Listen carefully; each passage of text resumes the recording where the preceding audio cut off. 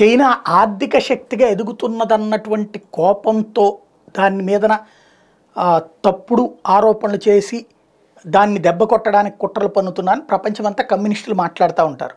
అయితే చైనా దగ్గర నుంచి కొనుగోలు చేసినటువంటి సెల్ ఫోన్లు ఏవైతే వాడుతుంటారో ఆ సెల్ ఫోన్లకిలో మనం వాట్సప్ కాల్లో మాట్లాడినా వాట్సప్ చాట్ చేసినా మనం దాంతో లింక్ అయ్యి ఉన్నటువంటి ఫేస్బుక్లోనో లేకపోతే ఇతరత్ర సోషల్ మీడియా ప్లాట్ఫారాల్లో మనం ఫర్ ఎగ్జాంపుల్ రియల్ ఎస్టేట్ గురించి మాట్లాడామంటే ఆ తర్వాత అడ్వర్టైజ్మెంట్లన్నీ రియల్ ఎస్టేట్వి వస్తున్నాయి. మనం కనుక ఏదన్నా భోజనం గురించి మాట్లాడితే ఆ భోజనానికి సంబంధించినటువంటి ఇష్యూస్ అన్నీ వస్తున్నాయి. లేదు ఏది మాట్లాడితే దానికి సంబంధించిన అడ్వర్టైజ్మెంట్లు వస్తున్నాయి. అంటే అర్థం ఏంటి? వాడు డైరెక్ట్గా వినకపోవచ్చును. కానీ కంప్యూటర్లకి అనుసంధానం చేసుకుని సంథింగ్ ఏవో దాంట్లో లూప్ హోల్స్ పెట్టాడు. ఆ లూప్ హోల్స్ ద్వారా అది ఒక్క చైనా వాడు మాత్రమే దాన్ని ట్రేస్ చేస్తాడు. వాళ్ళు దాని ద్వారా ఆల్గారిథమ్స్ సెట్ చేసి మనం మాట్లాడిన దానికి అనుగుణంగా మనకి ఆ- సదరు అడ్వర్టైజ్మెంట్ సంస్థల కంటే ఆ, సదరు వ్యాపార సంస్థతో లింకప్ చేసి పెట్టాడు అన్నటువంటి విమర్శలు చాలా రోజుల నుంచి వినబడతా ఉన్నాయి. సెల్ ఫోన్ల విషయంలోనే కాదు తర్వాత కాలంలో ఏం తేలిందంటే సైన్యానికి ఏమన్నా ఎక్విప్మెంట్ కొన్నా.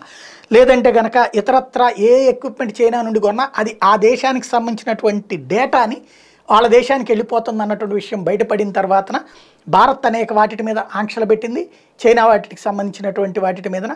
ఈవెన్ మన దగ్గర యాప్స్ చైనా యాప్స్ కూడా బ్యాన్ చేసింది. అందుకే టిక్ టాక్ లాంటి వాటి ద్వారా కూడా మన డేటా వాడు తీసుకుని అవి వాళ్ళకి అమ్ముతున్నాడు వ్యాపార సంస్థలకి. అందుకని ఈ పెట్టుకొచ్చారు అదే సందర్భంలో రక్షణ పరికరాలు అయితే అసలు కొండమే మానేసుకుంటూ వచ్చాం.